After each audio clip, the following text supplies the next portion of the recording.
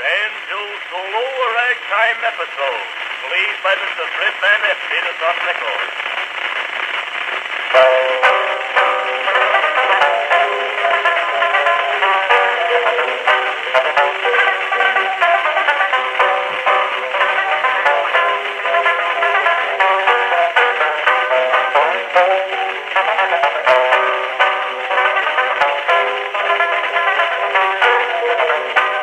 Thank you.